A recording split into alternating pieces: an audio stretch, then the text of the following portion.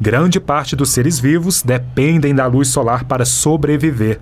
A dermatologista Ana Cláudia explica que o sol é responsável por 80% da produção de vitamina D, também conhecida como calciferol, essencial para a nossa saúde. A vitamina D é um hormônio que é produzido principalmente através da exposição solar, que é muito importante para a formação dos nossos ossos e para a fixação do cálcio nos ossos. O Brasil é um dos países com maior radiação solar do mundo. Mesmo assim, muitas pessoas têm deficiência de vitamina D. São unhas mais fracas, queda de cabelo, e isso é muito comumente relacionado à deficiência de vitamina D.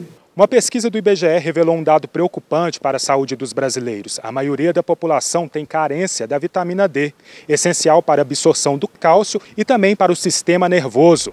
Estudo recente da Universidade Federal de Pernambuco descobriu que em algumas pessoas a exposição ao sol não é suficiente para garantir a quantidade de vitamina D que o organismo precisa.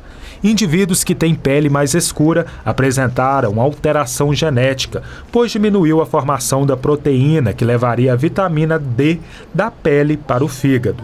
A pesquisa foi feita nos meses de dezembro e janeiro, período com maiores índices de incidência solar. Dos 284 idosos que participaram da análise, 66,5% estavam com deficiência da vitamina. Um segundo estudo, feito com 900 jovens com mais de 18 anos e também adultos, revelou que 45% deles apresentaram a mesma carência, apesar da exposição diária ao sol.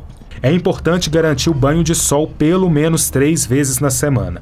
Kátia descobriu a deficiência do hormônio há aproximadamente cinco anos, quando fez um exame de rotina. E para suprir essa carência, faz o uso de suplementos. A fadiga diminuiu, aí o cabelo também parou de cair um pouco, bem, bem melhor.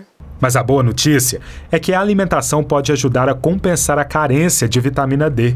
Segundo a nutricionista, alguns alimentos são ricos no hormônio. A vitamina D ela é presente em cogumelos irradiados, a vitamina D2 e a vitamina D3 a gente precisa da exposição à luz solar. Os alimentos que também podem ser encontrados a vitamina D seriam alguns alimentos fortificados, como leite, derivados, iogurte, queijos, né? E também cereais fortificados. Outro ponto para a gente levar em consideração também é que tem sido muito abordado, muito estudado que indivíduos com sobrepeso e obesidade têm uma maior uh, deficiência de vitamina D. Então a gente tem que ficar mais atento para esses pacientes.